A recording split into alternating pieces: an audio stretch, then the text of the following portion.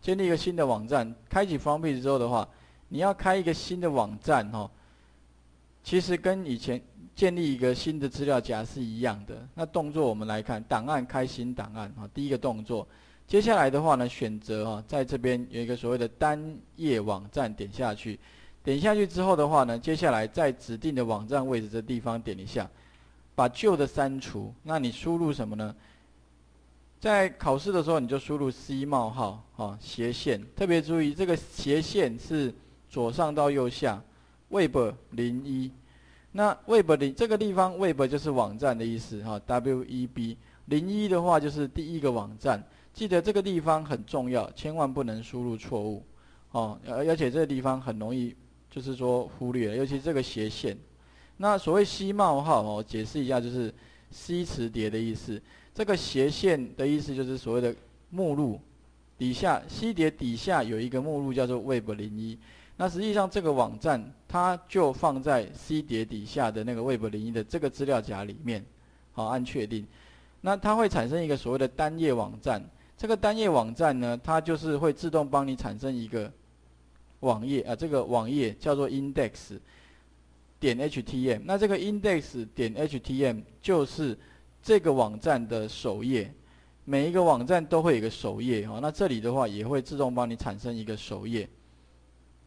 好，那它现在的话就是在在产生哈。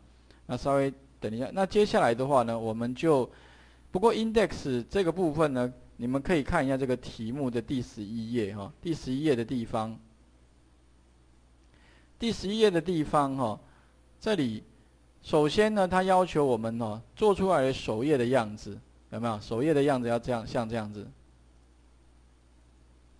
就是上面是 title，左边是 menu，右边是 main。那你要做这样的一个一个首页，该怎么做呢？接下来就是再开一个新的档案，一样的方式。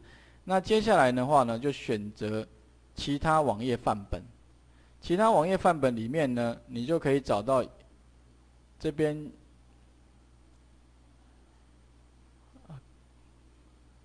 这边，啊，更正一下，其他网页范本啊，不是其他网站，网页范本里面就有个框架页，框架里面的话呢，就会有一个，我们要找一个哈，比较类似，就是横幅和目录，你可以看一下，每个都点点点到最后就是这个，按确定。那我们要怎么样产生这三个哈？分他刚刚讲的这个，那我们就在上方先点这个，它上面就有开新的网页，就点三下，点三下之后的话呢，哈。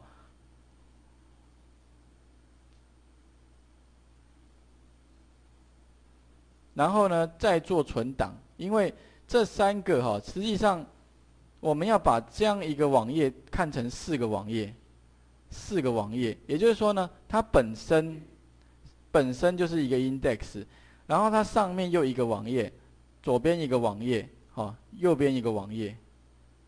奇怪，这这个还在跑，好，所以你你这部分的话，先试试看，先产生我刚刚所讲的这这个动作好了哈。